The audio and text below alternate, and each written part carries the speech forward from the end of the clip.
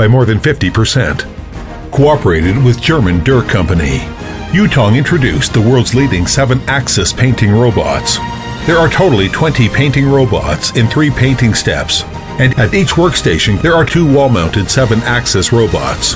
The robots can automatically implement the painting instruction assigned by the painting central control system by reading the corresponding painting date on the data carrier.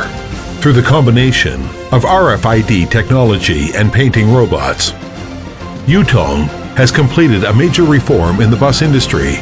In terms of the production mode, the painting efficiency is 30% higher than that of the manual painting, and the paint utilization rate increases from 30% to over 60%, which not only greatly reduces the costs, but also significantly improves environmental protection level via controlling the paint waste.